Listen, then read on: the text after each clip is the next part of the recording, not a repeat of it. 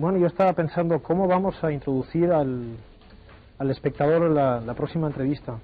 Vamos a empezar hablando de los muchísimos millones, vamos a empezar hablando de, de los muchísimos goles, vamos a empezar hablando de... ¿De qué? Y en realidad a mí no se me ocurre otra cosa que empezar hablando de un pibito chiquito, chiquito, que sos vos.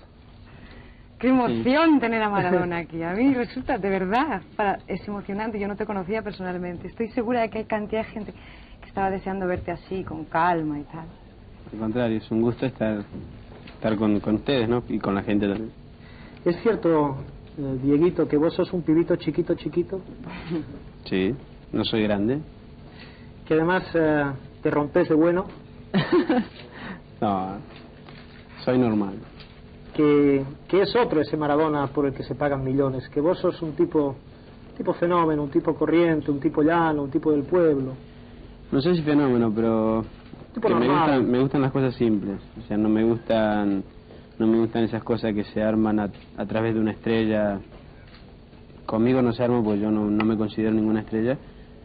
Me considero un, un pibe más, un pibe de 21 años que hace cosas normales, que no que no le gustan las cosas eh, grandes, sino que me gustan las cosas simples. Pero viste, acá no trajimos a... Pero a te pasa, vas a pasarte toda la entrevista hablando con acento argentino. Pues Claro que- terrible, ¿eh? Viste, acá no trajimos a un, a un pibe cualquiera de 21 años, te trajimos a ti precisamente.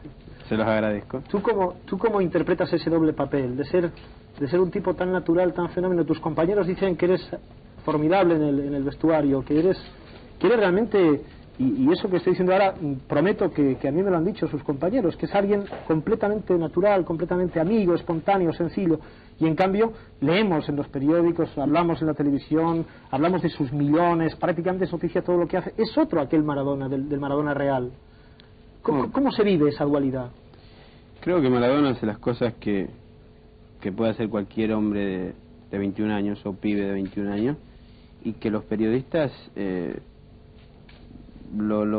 entienden a su manera, o sea, creen que, que Maradona lo hace, o sea, que, o sea, ellos piensan que tiene que agrandarlo para vender más o un montón de cosas y bueno, yo, lo, yo los entiendo, pero, pero yo sé lo que doy, o sea, yo sé lo que hago, entonces por eso no tengo no tengo ningún problema con nadie y, eso de que me quieren mis compañeros, o sea, creo de que, eh, o sea, soy un pibe normal y que, bueno, estoy agradecido a Dios de que mis compañeros me quieran a mí, ¿no? Tus compañeros están acostumbrados a tener grandes figuras en el equipo, tú lo sabes.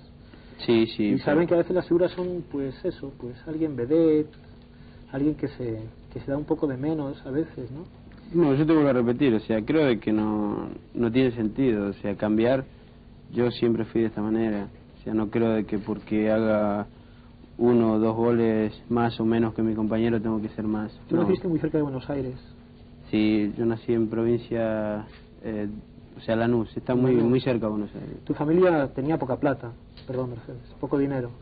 Sí, siempre, o sea, no no no es que eh, o sea, yo haya vivido siempre con, con grandes lujos, como dicen por ahí, o sea, siempre tuve, tuve, o sea, lo justo. Y ahora que tienes mucho dinero, estás más cerca de la gente que tiene mucho o de la gente que tiene poca guita.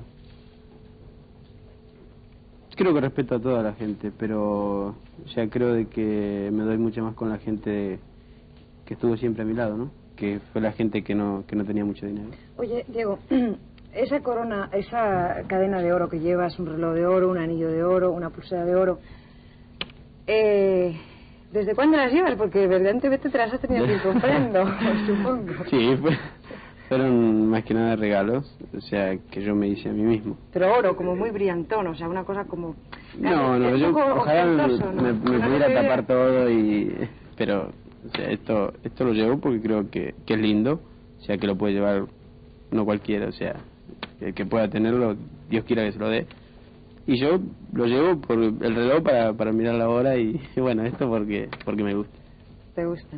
Tienes el labio partido, ¿eh? Oh, terrible. ¿Qué pasa, hombre? Os destroza... Ah, otra cosa que te quería Espera, preguntar. espera, hablemos del labio, mujer. Sí, es que es lo sabes que- es lo la preocupación que tenía Diego ayer cuando volvía de Yugoslavia del partido que jugó el Barcelona, que por cierto mm, marcó un gol sensacional, Dieguito, un gol que veremos un poquito más tarde. Por fin. Eh, Dieguito tenía... Mira, el gol que vamos a ver ahí. ¿Tú te acuerdas de ese gol? Sí, ¿Sí? ¿Qué, piensas ahora, en ese momento?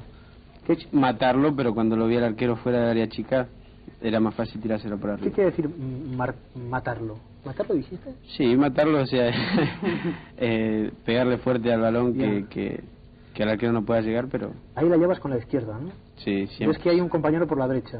Sí. ¿Piensas en pasársela o no? Sí, primero pero no sí, se la ¿por está, qué? está el libero. O sea, está el libero... Te vienes que- para acá porque piensas que es mejor. Ahí lo vas a matar. Sí, no. Pero dices, no, lo ah, drible. ahí, ahí, lo, ahí lo iba a matar, ahí. Ah, me sale el arquero.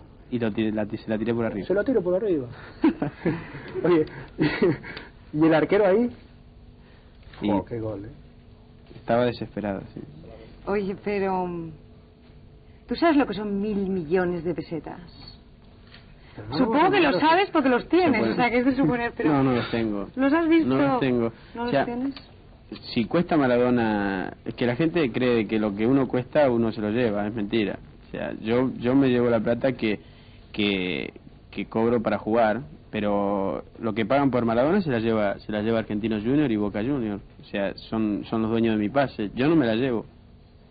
Oye, eh, antes has hablado de Dios. Me gustaría eh, saber si Maradona es un hombre creyente, si cuando sales al campo le rezas a, a Dios o a alguna virgen o, en fin, eres creyente en algo. Sí, por supuesto, yo siempre le pido a Dios que juegue conmigo, que ¿Que Dios juegue me- contigo? Sí, que juegue conmigo, que me ¿Pero tú crees que yo soy del Barça? Yo- ¡Ay! ojalá, Joaquín, como ojalá, es, lo tuyo ojalá que, que Dios sea del Barça porque es el equipo que yo juego y que y yo yo se lo pido para para que juegue con todos nosotros. Ayer tú decías, lo más importante es que gane el Barça y estas cosas. Mm, un Yo eso no me de lo fútbol- creo, yo eso no un me lo jugador de fútbol, ¿tú, tú por qué Yo no me lo creo, porque crees? no, eso de que un jugador pasa de un, un equipo a otro a costa de que un señor tiene más dinero para comprarlo, ¿no? O sea, como Núñez ha tenido más dinero para comprarte a ti. Núñez no, el fútbol Club Bueno, Barcelona. pues el Fútbol Club Barcelona. Ya sabes que yo no soy nada eh, No, especialista en pero- fútbol y tú lo eres mucho. Bueno, si me, si me equivoco me corriges. Mm. Como el Fútbol Club Barcelona, para, para una persona individual decir que compra a otra persona. Eso sería Evidente. Como el fútbol- como el Fútbol Club Barcelona ha podido comprar a Maradona, pues entonces Maradona a partir de ese momento tiene el corazón a rayitas eh, de los No, colores del no- Barcelona, pero tú lo has no tenido digo- antes de otro color. Quiero decir eso, yo no me lo puedo creer mucho, Diego. Yo es problema tuyo. yo eh, ¿La matas? no, no, no la mato. No, yo digo, yo digo que quiero que gane el, el Barça porque yo estoy jugando. Ahora yo estaría mintiendo si yo digo, yo digo que soy hincha fanático del, del Barcelona. Yo no puedo decir eso porque todavía hace muy poco que estoy en el club. Yo te- yo puedo hablar con vos dentro de un año y medio y yo te puedo decir que yo soy hincha del Barça y que y que estoy a muerte con el Barça.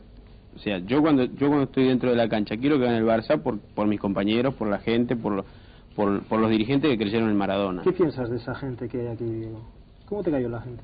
A mí me cayó muy bien. O sea, todavía yo no tuve no tuve no tuve ninguna ninguna dificultad dentro de la cancha, o sea, creo que los partidos a mí me han salido bien. Ahora no sé cómo puede responder la gente cuando cuando Maradona no pueda meter un gol. Acá dicen que el Barça es más que un club. ¿Hablas ¿Sa- catalán? ¿Sabes qué dicen eso? No. ¿Cómo habla catalán si hace una semana que. Estaba segura de que, me iba, de que se había Claro. preparado una frase, Joaquín, ¿qué quieres que te diga? ¿No te han preparado en el Barcelona? No, te han sé dicho? lo que- sé- ¿A que o seguro sea- que te han dicho que aprendas alguna palabrita? No, a través de, de los compañeros que tengo, eh, o sea, aparte del utilero, papi, casi siempre hablan en catalán y, y yo algo algo capto, pero no no puedo. Cu- Cuando va en un avión pregunta cosas, ¿no? Sí, sí, aparte entiendo, entiendo, o sea, me imagino lo que quieren decir, ¿no? Te ha preguntado Joaquín antes que yo le he interrumpido y pido perdón si, si sabes eso de que el Barcelona es más que un club, si para ti sí- significa algo. ¿Entiendes eso o no, o no mucho? Todavía no lo entiendo, no. Todavía no lo entiendo por qué el Barcelona es más que un club. O sea, yo creo que es un club de fútbol por ahora y, y que, que, o sea, bueno, que es el más poderoso del mundo porque tiene 130.000 socios. ¿Tienes alguna superstición, Diego, cuando, cuando vas a jugar? Yo conozco a No, no, no tanto. Venga, O sea, reconócelo, reconócelo. Seguro que hay algo. Seguro, o sea, si yo si yo eh, me pongo me pongo las medias como ser en Primero el de una pierna y luego de no, otra, En el partido de Málaga yo primero me puse las medias antes del pantaloncito y cuando fui cuando fui a jugar a, a Yugoslavia me puse las medias antes que el pantaloncito, pero porque ganamos. Seguro, Ya, ya, ya, ya. seguro, para asegurar. Bueno, eso pasa con casi todos los jugadores y con Oye, los entrenadores. una cosa que yo quería preguntarle a Maradona. Yo co- he conocido a bastantes corredores de Fórmula 1. Yo no me he dedicado al fútbol a lo largo de mi vida como periodista, pero sí he hecho algo Se de Fórmula se 1. Se nota, ¿no? Bueno, es igual, ya aprenderé a tu lado. Digo que eh, los, los corredores de Fórmula 1 cuando llegan a la cima están rodeados de mujeres que continuamente les asedian. Qué ¿Te pasa lo mismo a ti? Ojalá. No, no, no, no, no. Yo no, primero que no, con esta ¿Dónde está cara, no, Claudia? con esta cara no puedo ligar nada. Pero ¿cómo que con esta cara? ¿No estás nada mal? Gracias.